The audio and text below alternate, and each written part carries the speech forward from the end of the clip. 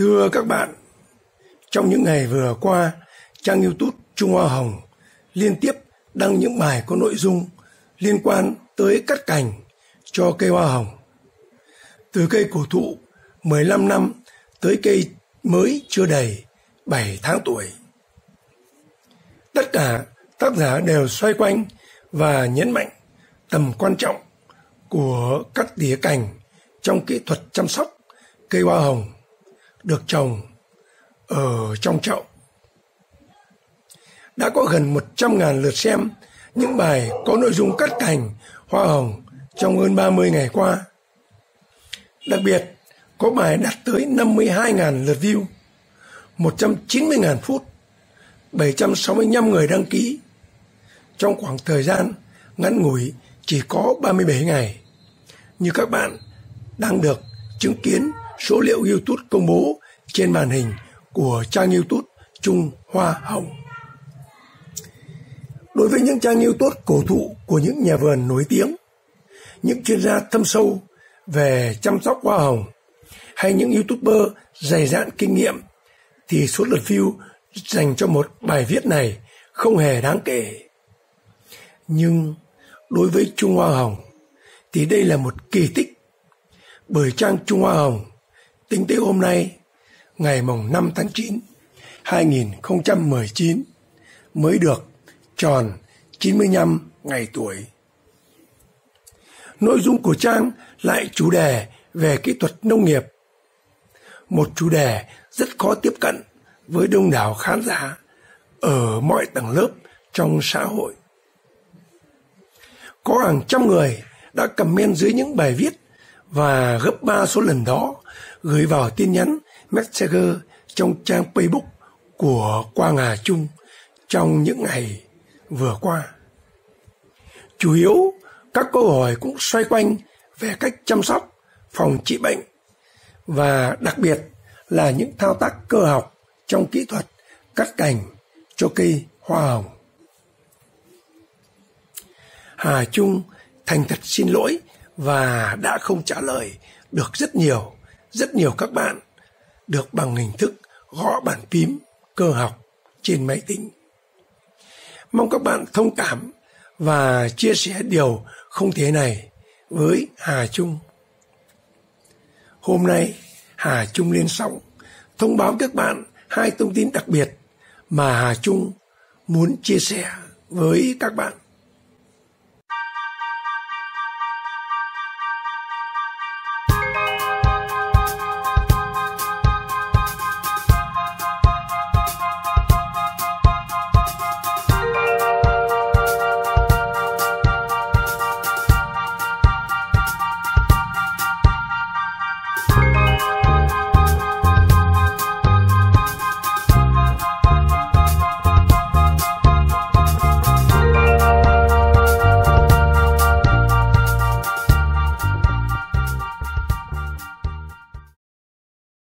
Một Đúng 20 giờ tối, ngày mùng 6 tháng 9, Hà Trung sẽ live show trực tiếp trên trang Trung Hoa Hồng với tiêu đề Nếu không cắt cành cho cây hoa hồng, thì chuyện gì sẽ xảy ra?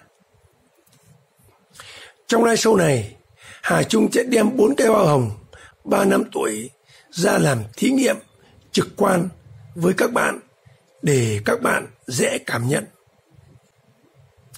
Những cây hoa hồng này Hà Trung thí nghiệm để suốt 3 tháng nay không hề đụng dao kéo cho tới tận ngày hôm nay.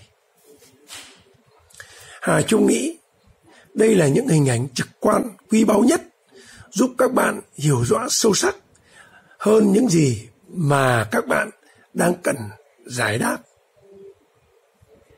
Hai, cũng từ lần live show hôm nay, và trong tương lai Hà Trung sẽ thay đổi cách tiếp cận và tương tác với các bạn. Cách thay đổi này sẽ giúp các bạn không có mặt trong buổi live show vẫn có thể thỏa mãn với những câu hỏi của mình sau khi xem lại bài viết. Cụ thể, ngoài việc tương tác trả lời với các bạn yêu Hoa Hồng đang có mặt trực tiếp theo thời gian thực, Hà Trung còn tổng hợp tất cả những câu hỏi các bạn đã comment dưới từng bài viết và tin nhắn trong Messenger mà Hà Trung chưa trả lời các bạn trước đây. Hà Trung sẽ xen kẽ từng phần trả lời những nội dung, câu hỏi đó của các bạn. Hà Trung rất mong sự chia sẻ của các bạn sắp tham dự buổi live show tối mai cũng như các bạn không có điều kiện tham dự. Mong các bạn coi thông tin này như một tín hiệu tích cực của Chu Trang Trung Hoa Hồng nhằm thỏa mãn sự tin tưởng của các bạn.